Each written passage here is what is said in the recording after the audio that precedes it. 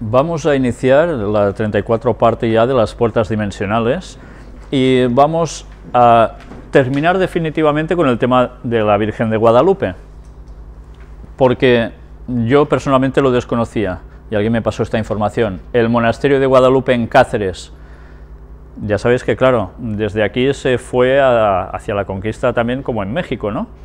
Desde España, eh, pues claro, era de esperar como no se me había ocurrido, que lógicamente hubiese también una Virgen de Guadalupe aquí, no todo es cuestión de México.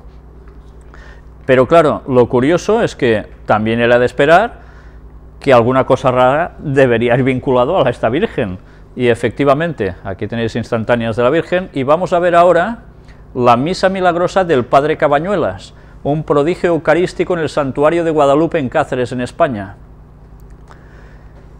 El venerable padre Cabañuelas o fray Pedro de Valladolid, que era su nombre de religión, protagonista de este prodigioso milagro, fue uno de los eximios varones que ilustraron con su virtud la incipiente vida religiosa en el cenobio guadalupense en los primeros tiempos de su establecimiento en la Orden de San Jerónimo. Él y otros más son los discípulos del venerable padre Fray Fernando Yáñez de Figueroa, ilustre cacereño de la más rancia nobleza y primer prior del monasterio, que brillan por su santidad a lo largo de la primera mitad del siglo XV. Ellos han quedado inmortalizados por el pincel en los once lienzos que pintó Zurbarán y que decoran la sacristía del santuario de Guadalupe. Ya empezamos con las cantidades de números. Pero ahora mirad lo que va viniendo. El padre Cabañuelas abrazó, siendo muy joven, la vida religiosa y siempre se distinguió por su profunda devoción a la Sagrada Eucaristía, en cuya contemplación y meditación gastaba gran parte de las horas del día y de la noche. Pero quiso el Señor aquilatar aquella su fe en el gran misterio, permitiendo al enemigo de las almas que viniera a perturbar su imaginación con terribles dudas sobre la presencia real de Cristo en el sacramento del altar, dudas que se acrecentaban hasta producirse tremenda angustia mientras celebraba el santo sacrificio. Un día hablamos de esto y no me acordaba que era de lo mismo. El suceso milagroso que disipó todas sus dudas y le curó radicalmente de todas sus incertidumbres para el resto de su vida, podemos situarlo cronológicamente hacia 1420, como a los 50 años de su edad, y es el mismo quien nos lo refiere, aunque de tercera persona en una relación que de su puño y letra se halló entre sus papeles después de su muerte y que nosotros podemos leer a continuación. Él mismo escribió esto que vais a ver. A un fraile de esta casa dice que le sucedió que un sábado, celebrando la Santa Misa, después que consagró el cuerpo de nuestro Señor Jesucristo, vio una cosa como nube que cubrió el ara. Ara, ¿qué es? Pues es una losa o piedra sobre la que el sacerdote extiende el corporal para celebrar la misa. Y el cáliz, de manera que no veía otra cosa, sino un poco de la cruz que estaba detrás del ara, lo cual le inculcó gran temor y rogó al Señor con muchas lágrimas, que le tuviera piedad y le manifestara qué cosa era eso, y que lo librase de tan gran peligro. Estando muy atribulado y espantado, poco a poco se fue quitando aquella nube, y cuando se quitó, no halló la hostia consagrada, y vio la hijuela que estaba sobre el cáliz quitada, y al ver el cáliz lo vio vacío. Al ver esto comenzó a llorar fuertemente demandando misericordia a Dios y encomendándose devotamente a la Virgen María. Estando así afligido, vio venir la hostia consagrada puesta en una patena muy resplandeciente, y se colocó derecho en la boca del cáliz. Entonces comenzó a salir de ella gotas de sangre, que caían en tanta cantidad en el cáliz que se llenó como antes estaba. Una vez que el cáliz se llenó, puso la hijuela encima del cáliz y la hostia sobre el ara como antes estaba. El fraile que aún estaba espantado y llorando oyó una voz que le dijo, acaba tu oficio y sea a ti en secreto lo que viste. casi nada, ¿eh? Casi nada.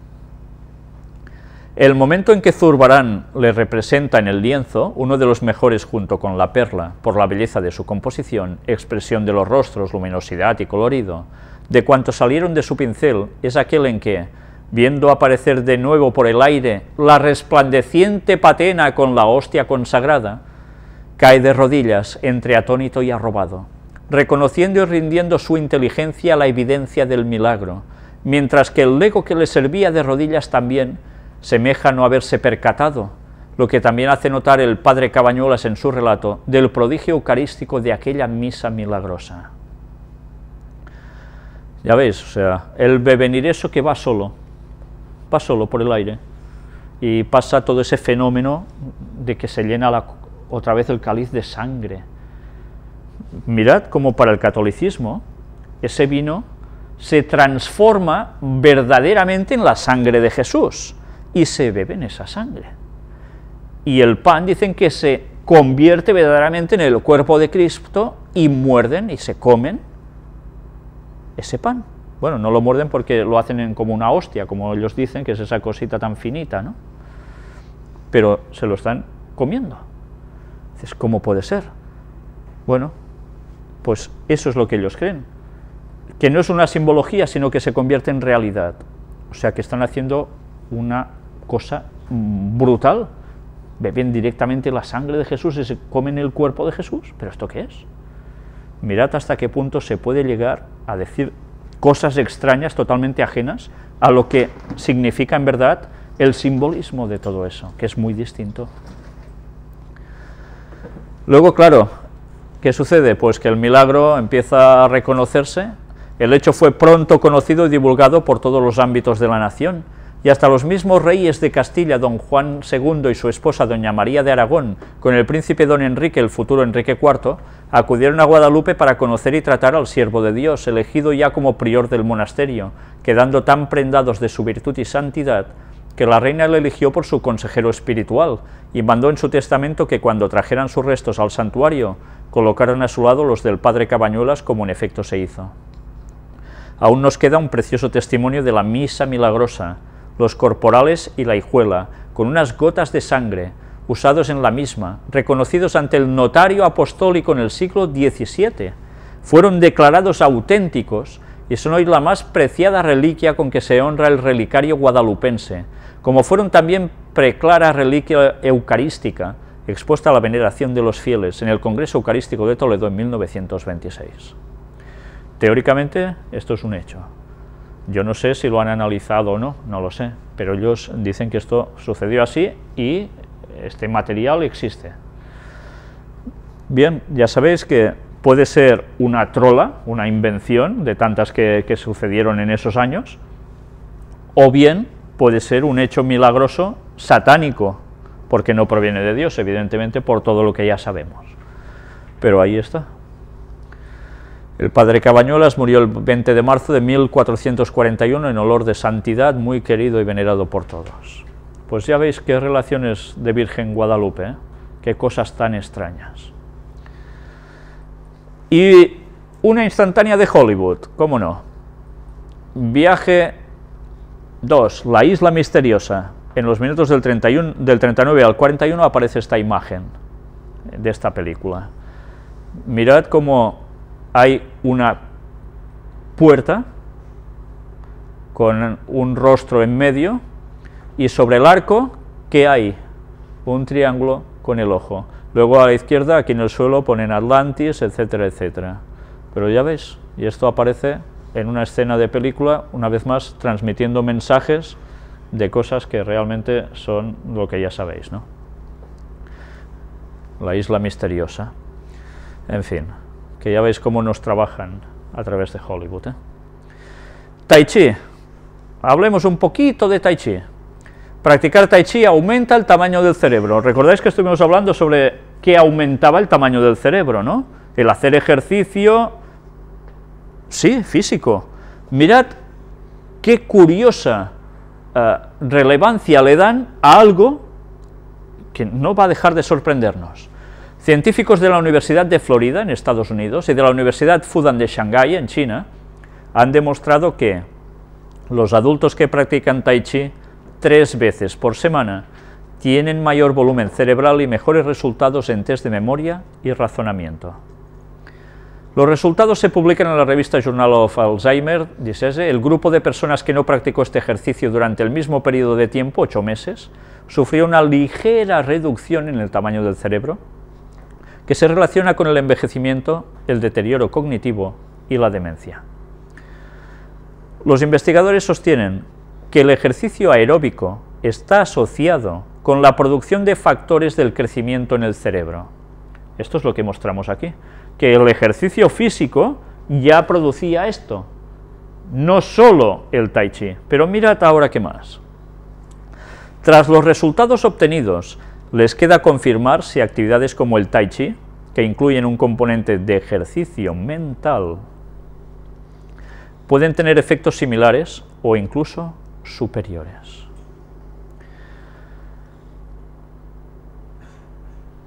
Superiores. ¿Puede ser? Esto les queda investigar. Yo me pregunto, claro que interviene ejercicio de la mente, es lógico, cuando hacen ciertas posturas, equilibrios y demás, ¿vale? Cuando juegas a fútbol, ¿qué pasa? Si tú estás, eh, por ejemplo, en el medio campo y vas a repartir juego, tú no solo juegas a correr y ya está, sino que estás pensando qué harás cuando te llegue el balón, a quién se la vas a dar, etcétera, etcétera.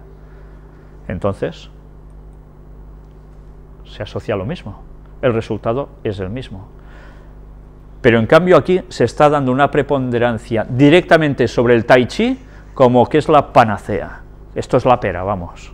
Pues no, no. Pero ya veis hasta qué punto nos pueden colar las cosas haciendo una promoción de algo que en verdad no proviene de Dios, sino todo lo contrario. Qué fácil es, con la sutileza de la ciencia, llevarnos al terreno encantado del diablo. Qué fácil es. Por eso debemos estar atentos a todas estas cosas.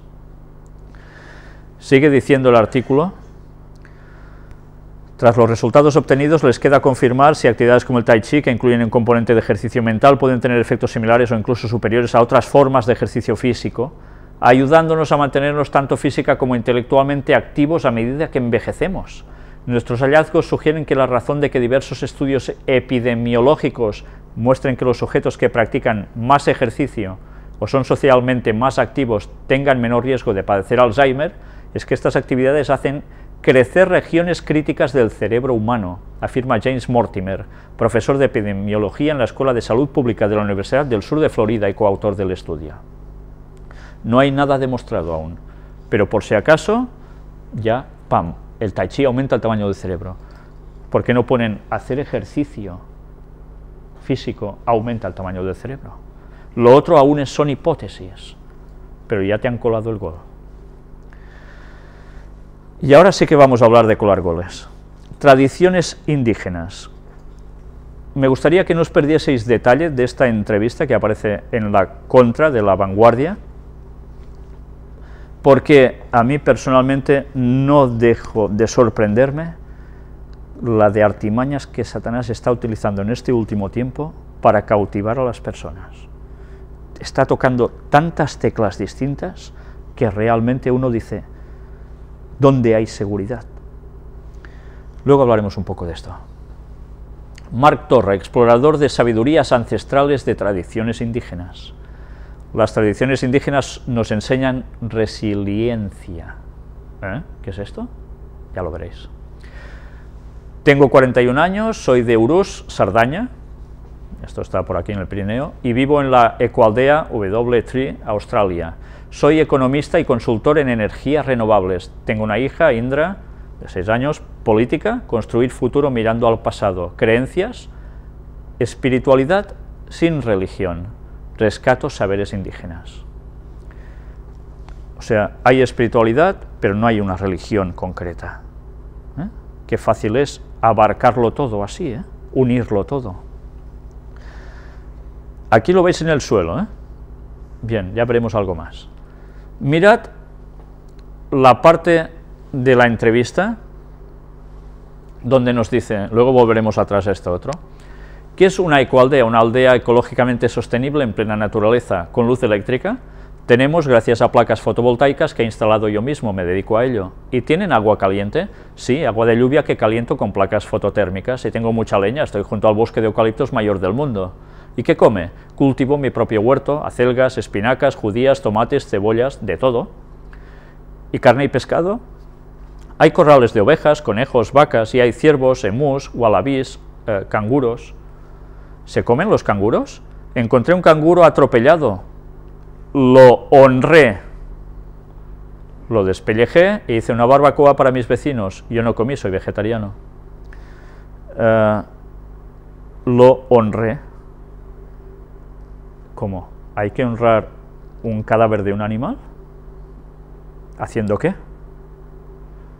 ¿Algún tipo de plegaria? ¿O, ¿O qué? ¿Es normal hacer esto? ¿Es algo fundamentado bíblicamente, eh, espiritualmente correcto hacer esto? Honrar un cuerpo muerto de un animal. Bueno, ya sabéis, estamos hablando de espiritualidades que no provienen precisamente del mundo de Dios. ¿Cuántos vecinos son en la aldea?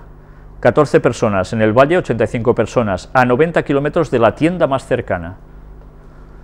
¿Y viven bien? Somos buscadores de resiliencia y amamos la naturaleza, no necesitamos más. Resiliencia, lo opuesto a la vulnerabilidad, es adaptarse al medio, vivir en armonía con tu entorno, con austeridad, con frugalidad, sin flagelarse, ¿eh? pero evitando necesidades superfluas. Yo vivo con 100 euros al mes en, en la ecoaldea. Solo con eso, suficiente, solo necesito dinero para viajar. ¿Y cómo gana el dinero? Trabajo en proyectos de desarrollo en países necesitados, pero es mejor hablar de proyectos de resiliencia. El desarrollo engaña. ¿Por qué el desarrollo es engañoso? A mayor desarrollo, mayor vulnerabilidad. Y a más desarrollo, más dependencia, y cualquier revés te colapsa. Está sucediendo en las sociedades desarrolladas de Occidente. No le diré que no. Por eso trabajo en proyectos de resiliencia. Preparo el futuro mirando al pasado. ¿Qué es aprovechable del pasado?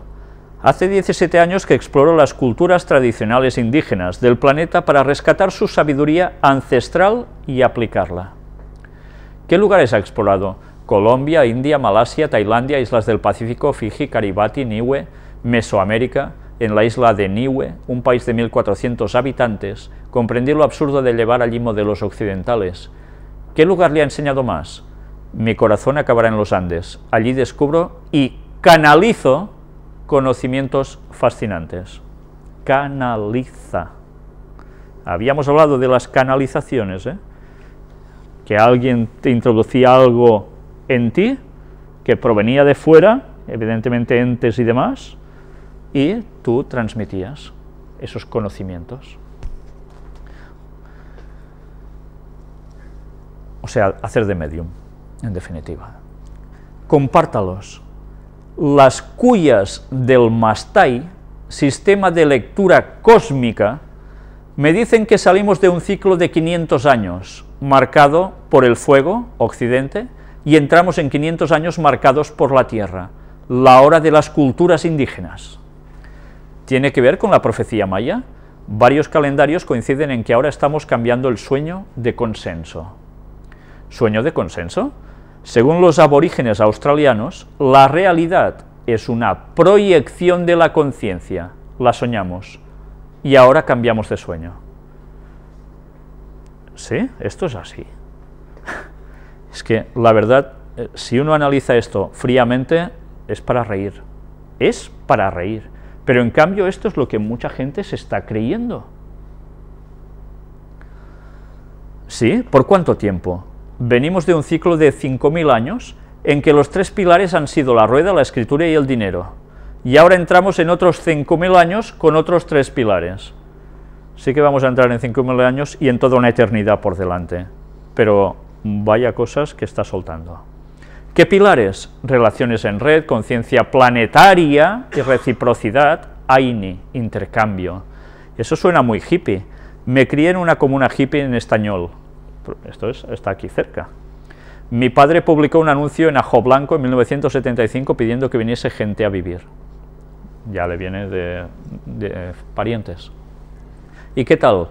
Se apalancaban, nadie hacía nada, nadie tomaba decisiones había por allí un saco de harina y con siete años yo tuve que espabilarme, me hacía mis tortitas en el fuego para poder comer. Algo, vaya, aprendí a espabilarme, lo doy por bien empleado, aquello era un primer intento generacional, de eso aprendí que es importante organizarse y tomar decisiones por consenso, como hacemos ahora en la ecoaldea. mirad que están haciendo cosas que no están nada mal, ¿no? Están eh, yendo en plan vegetariano, viviendo fuera de la ciudad, eh, sin, sin grandes lujos ni apenas nada, y están pasando bien. Mirad cómo siempre Satanás copia las cosas de Dios, ¿eh? Siempre igual, pero ya veis que luego hay un matiz distinto que lo cambia absolutamente todo radicalmente. ¿Y qué opinan hoy sus padres? Ellos eran de buenas familias que se arruinaron. Eso fue una bendición para mí. Gracias a su ruina tuve que espabilarme, buscarme la vida, prepararme, viajar. ¡Qué bien! Deme una buena noticia sugerida por esas cuyas andinas que maneja. Luego veremos qué es esto. Sé por las cuyas que Cataluña es volcán y que Castilla es vapor, pero sé también que esa diversidad puede armonizarse, y eso es lo interesante, no la uniformidad. ¿Eso le dicen las cuyas? Sí. Ahora voy a subir a Montserrat. Toma, otra vez Montserrat. Que corresponde al chakra del perineo de la península ibérica, para propiciarlo con las cuyas. ¿Perineo, ha dicho? Sí. Mucha energía latente, primordial. ¿Y a escala mundial hay alguna nueva? Hay mucha energía trabajando a favor del conflicto, de una guerra, pero sorteando esa inercia vieja podemos caminar hacia un reencuentro armónico gracias a las diversas sabidurías ancestrales del planeta. Y si queríais saber qué son estas cuyas, vais a ver ahora qué son, el mismo, bueno, aquí se nos cuenta. Mirad que dice que Montserrat corresponde al chakra del perineo de la península ibérica. Ya veis si para las gentes puestas en el mundo esotérico, al igual que el monasterio benedictino que está en Montserrat, y al igual que la gente que ve ovnis en Montserrat, y al igual que tantas cosas, tiene toda una conexión con lo mismo, con el mundo satánico, no con el mundo de Dios. Vamos a ver ese trocito de la izquierda que habla de cuyas hijo de hippies primerizos, vegetariano y creyente en la reencarnación, claro, era de esperar, Mark Torra lleva años viajando por el planeta a lugares en los que rastrear y recuperar sabidurías ancestrales. A esto se le llama sabiduría ancestral, en vez de decir paganismo ancestral. Combinándolas con avances del presente, sueña con implantar escuelas de sabiduría indígena que llamará árbol sabio. Es un tipo que pone a caminar sus sueños y que lleva en su zurrón un pañuelo rojo, mastai, que extiende para lanzar sus cuyas, piezas de madera con las que forma un mandala que le habla. Estuvimos hablando de las mandalas, ¿verdad? Pues ya veis, sirve para eso.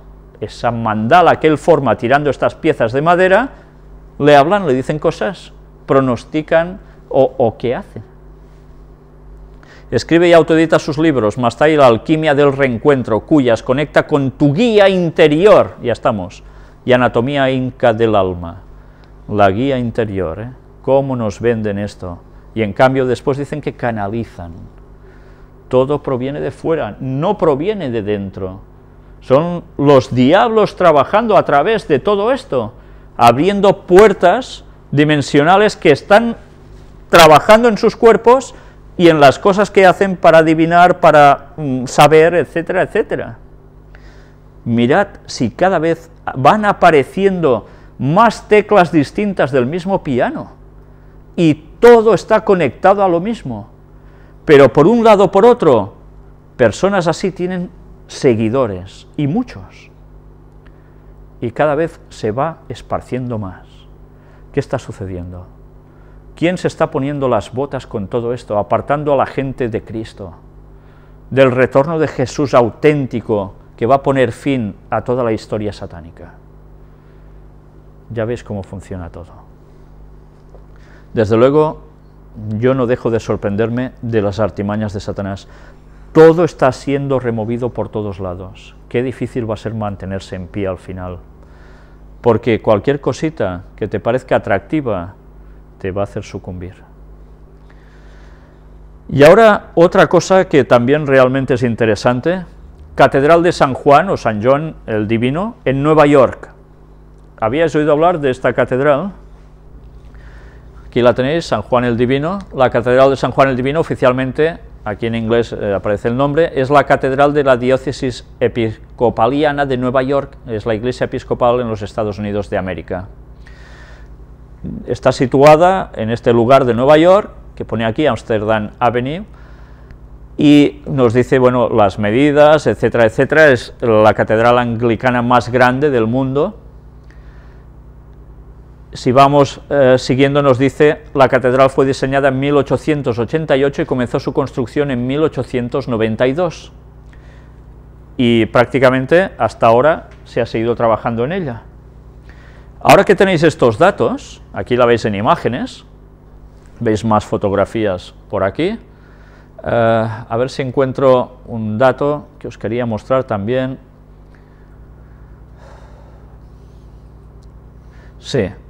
Eh, ahora vamos a hacer referencia a un señor que nosotros mostramos que hace puentes, hace mm, edificios, monumentos, obeliscos, en 1991 el ingeniero y arquitecto español Santiago Calatrava, os suena de haber hablado de él y mostrado muchas cosas suyas y todo relacionado con cosas que no provienen de Dios precisamente, ganó un concurso internacional para la finalización de la catedral, que incluirá también un biorefugio ecológico de más de 9.000 metros cuadrados adicionales, donde bajo una bóveda de cristal sobre la iglesia se sembrarán árboles y plantas que recibirán energía solar pasiva. En 1997 se completaron las estatuas y el portal central de la fachada oeste de la catedral. Aquí tenéis distintas imágenes, no sé si incluso veis que hay un candelabro de siete brazos. Aquí nos da una descripción de la catedral y también eh, nos habla que hay algo que es la fuente de la paz, que es esto que veis aquí abajo a la derecha. Eh, la imagen de arriba, ya veis eh, las típicas formas de catedrales eh, góticas. Y ahora vais a ver algo muy interesante que aparece en esta catedral. Primero de todo, esto no está traducido, está todo en inglés. Mirad que aparecía en esta página, Mundo Masónico, Masonic Wall, en 1925, entre las dos columnas, Jaquín y Boaz, que tienen la masonería, en una, a la derecha las constelaciones en globo encima de este capitel, a la izquierda el planeta de la Tierra, el globo terráqueo, aparece la catedral de San Juan el Divino, precisamente en una página de mundo masónico, pero si es una catedral anglicana, Ahora veréis qué cosas llegan a aparecer en esta catedral. ¿Verdad que cuando vais a una catedral muchas veces os quedáis mirando por fuera eh, los capiteles, las estatuas, las cosas que aparecen allí esculpidas? Pues vais a ver qué cosas van a aparecer en esta catedral. ¿Qué veis aquí? ¿No son las torres gemelas? Sí. Todo está lleno siempre de simbologías. ¿Qué sale detrás de esto que veis aquí? Humo, ¿no veis? Forma humo por encima de las torres gemelas y más allá, a la derecha y a la izquierda. Edificios tambaleándose. ¿Qué sucedió? Todo esto estaba hecho antes del 2001, que es cuando hubo el atentado a las Torres Gemelas. Vamos viendo continuamente imágenes de cosas sorprendentes, apocalípticos, por todos lados las imágenes. Un, ¿Qué veis aquí? Un puente, ¿no? Con la Estatua de la Libertad a la derecha y un, parece un autobús que se cae del puente abajo. ¿Van a ver estas desgracias también? Vamos viendo por todos lados imágenes que desde luego, ya veis, aquí nos aparece también esta otra de un edificio de Estados Unidos. Y esta es la estatua de esa fuente que antes os decía, que, bueno, si es la de la paz, la verdad es que da un rollo bastante, mm, en fin, que de paz poca. Eh, supongo que esta cara que aparece aquí tan plana y ancha debe ser la de la Luna, pero ya veis que debajo aparecen como unas pinzas de cangrejo, etcétera, etcétera. Y aquí la tenéis, un ángel con una serpiente enroscada hasta su mano. Bueno, pues, ¿qué más veis aquí? ¿Alguien con la cabeza para abajo colgando? Bueno, muy espiritual no es que sea para bien, ¿eh? Y aquí tenéis qué cabeza colgando, la de un demonio. En fin, esto es la fuente de la paz. Y aquí tenéis todo un escrito donde se, habla también de todo esto, con imágenes también de las esculturas que aparecen, lo veis en, en, distintas tomas también, como lo que hemos visto antes, que aquí aún se ve mejor el humo que se levanta, los mismos capiteles, y vamos viendo eh, jinetes del Apocalipsis también por aquí. Mirad qué simbología, una vez más. Dice aquí una escena que representa el nacimiento de una especie de flor. ¿Veis? Un niño que sale, o una cabeza que sale aquí como de un parto, y debajo como una ovejita, rodeado de momias y por encima de un cordero con las patas atadas. Ya lo veis, las patas aquí debajo. ¿Quién está naciendo? Es el anticristo que se dice en el libro de la revelación a la bestia, subía de la tierra y tenía dos cuernos como un cordero. Evidentemente el anticristo no es esto, por más interpretación que se dé, esto no es bíblico para nada. Debajo se encuentra un vórtice espiral que simboliza el cambio de la conciencia y la gente aparentemente alabando o adorar la figura. Pero ya veis, mm, estuvimos hablando del espiral, ¿verdad? La simbología de todo esto, ¿eh? estas puertas dimensionales que se nos abren en nuestros propios cerebros y demás, y de tantas otras formas que hemos visto, por las cuales Satanás siempre aprovecha para entrar. Aquí tenéis también un pilar que simboliza la muerte con la rueda dentro de otra rueda, llenos de ojos alrededor, como se describe en el libro de Ezequiel. ¿Y qué tenemos aquí?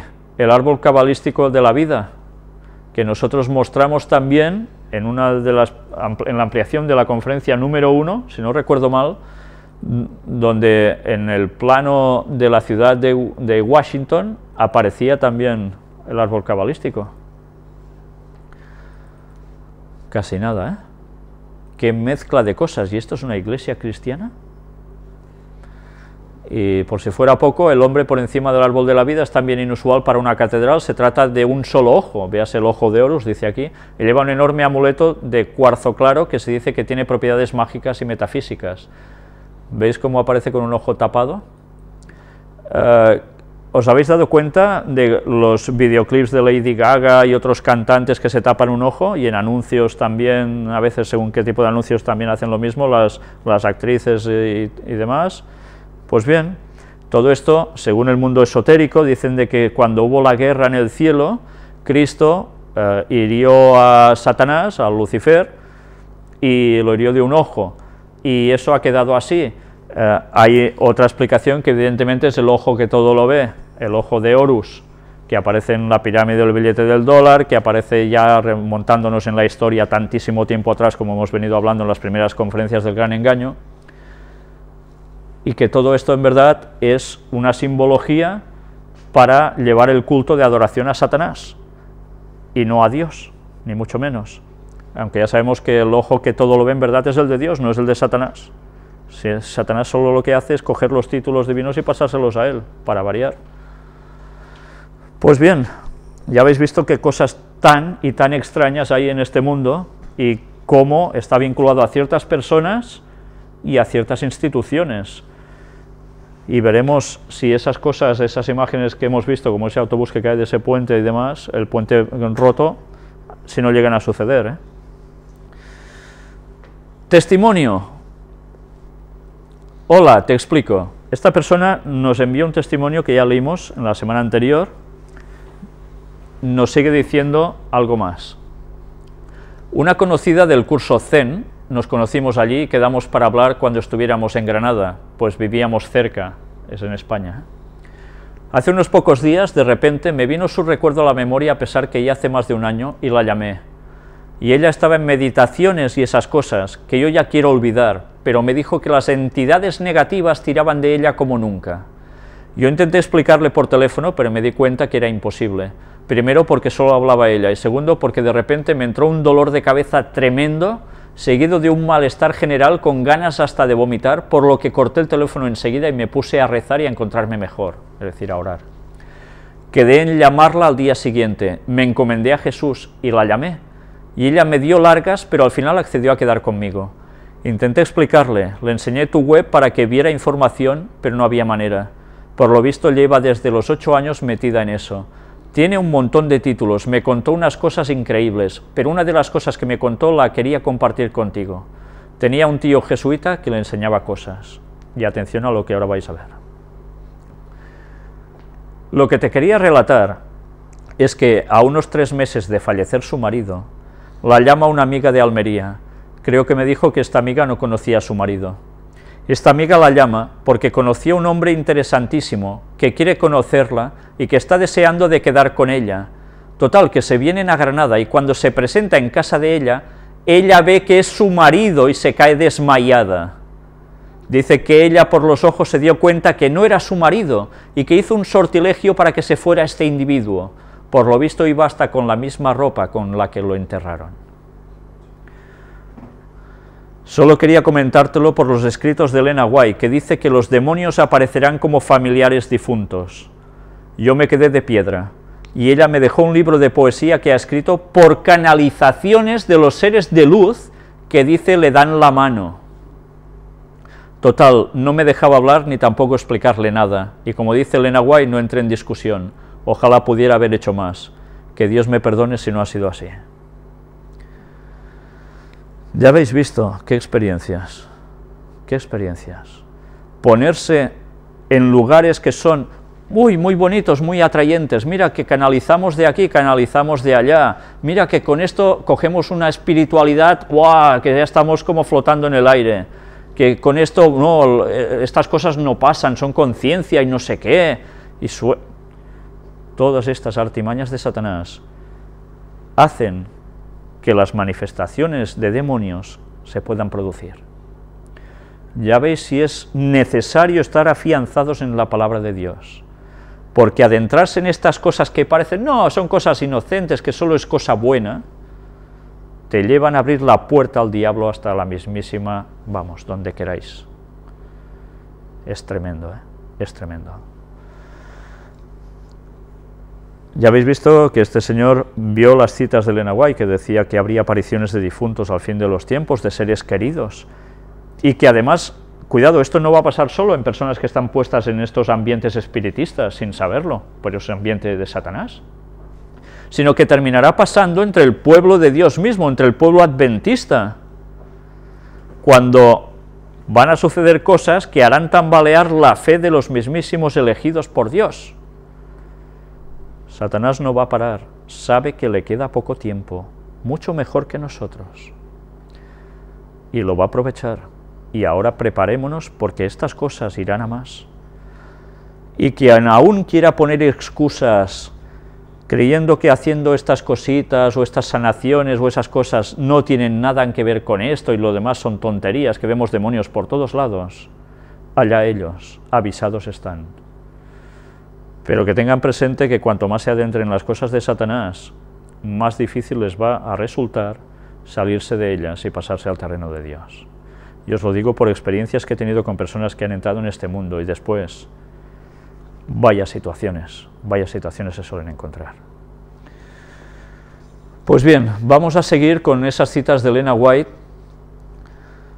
del Ministerio Médico, donde lo dejamos la última vez, página 151, donde seguiremos hablando de, ese tipo de, de situaciones que ella nos dice dirijamos la mente a Cristo. Debe exaltarse a Cristo, el gran sanador, no hay otro, es el gran sanador, es Él. Y no a ningún médico humano.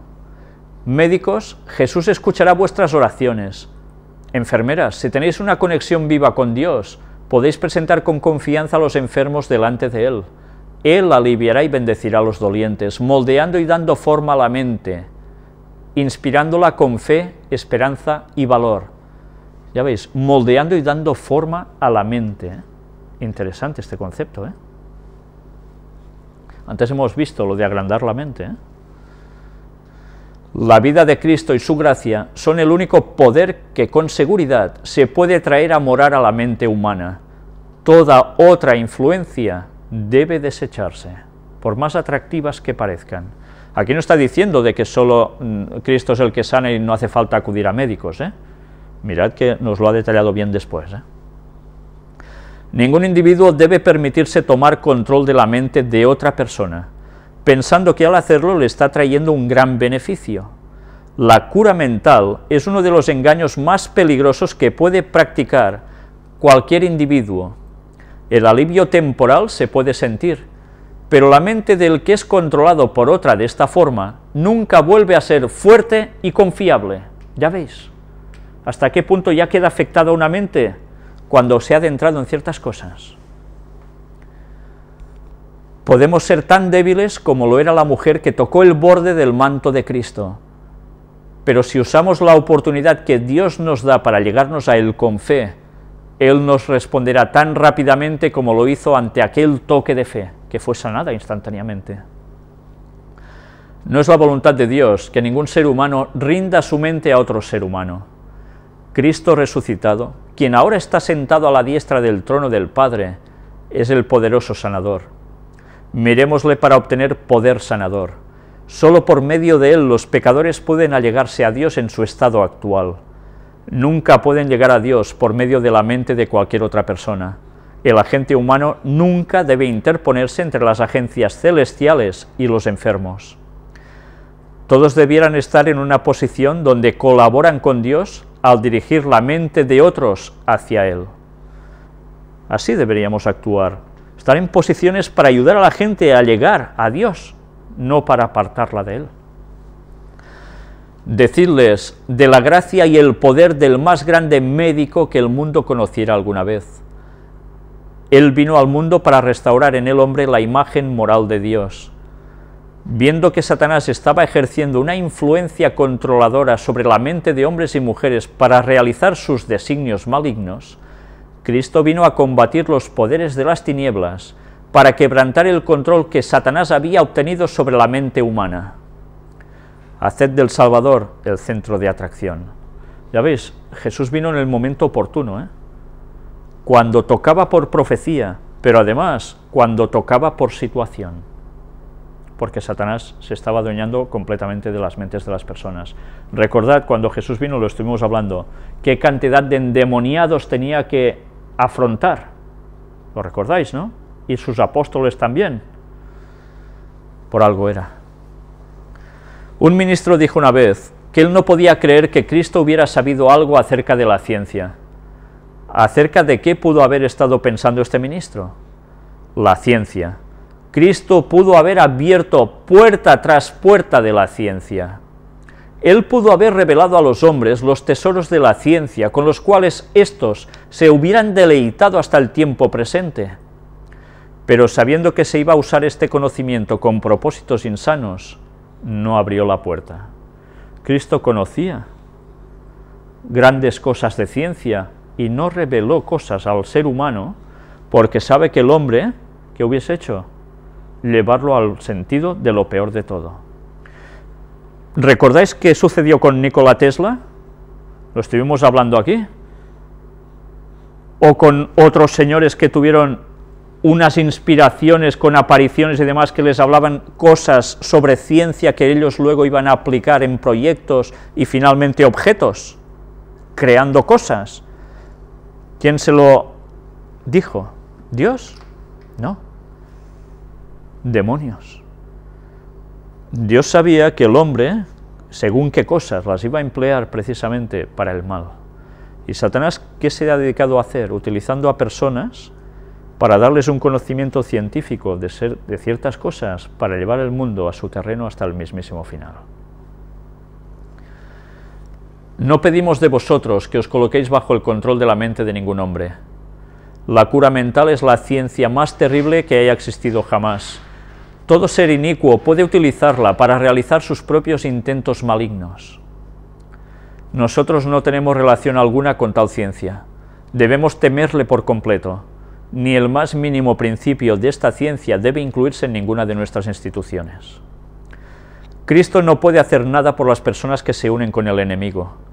Su invitación a nosotros es, venid a mí todos los que estáis trabajados y cargados, y yo os haré descansar.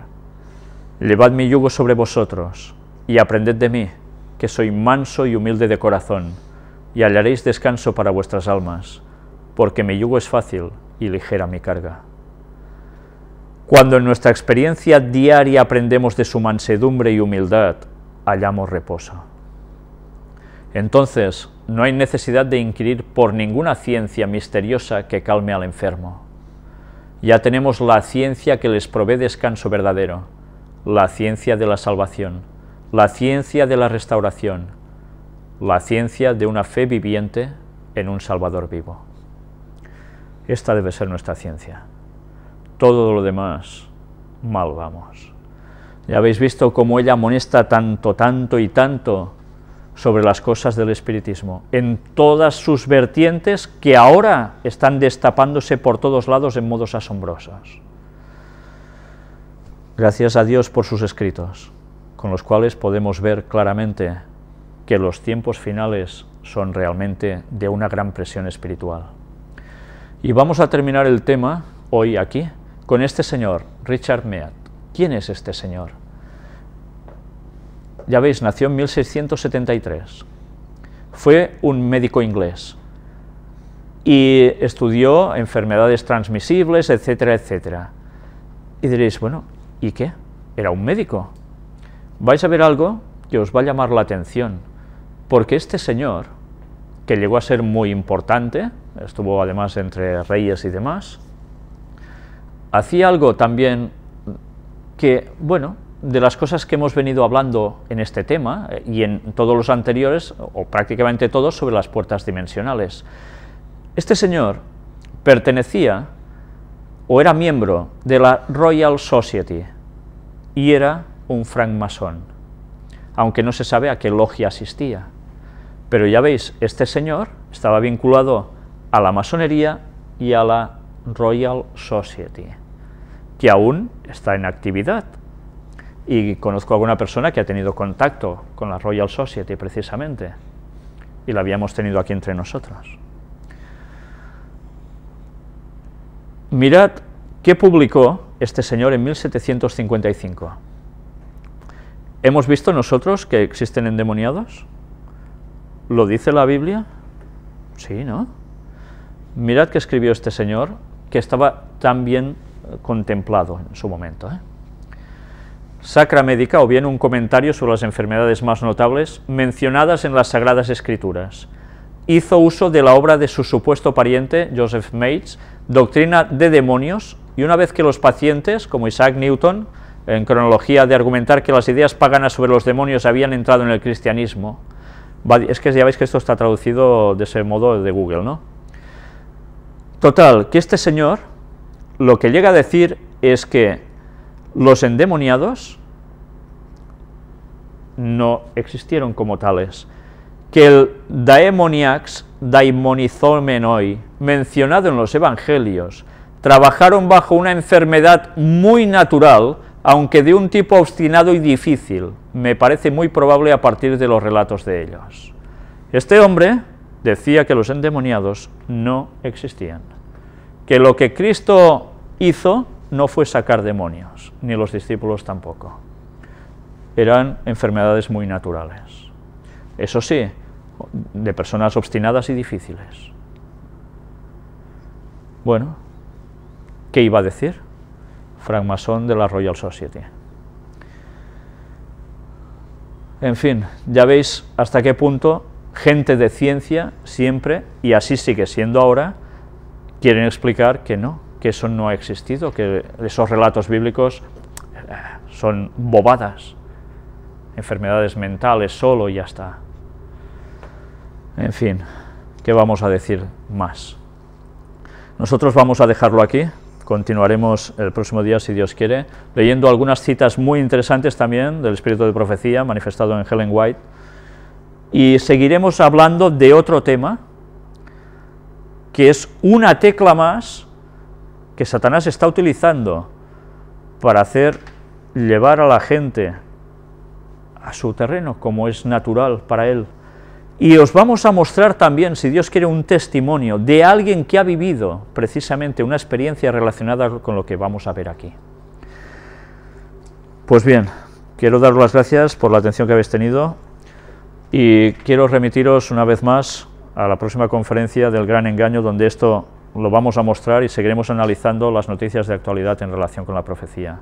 Pero sobre todo, que Dios nos ayude a saber lo que creemos. Porque el más mínimo fallo en el conocimiento de nuestras doctrinas puede hacer que muy sutilmente una artimaña de Satanás entre y ya empiece a cambiar una cosa tras otra de lo que parece que estamos bien fundamentados. El que cree estar firme, mire que no caiga, dice el texto bíblico. Tengamos eso muy presente. Que Dios os bendiga.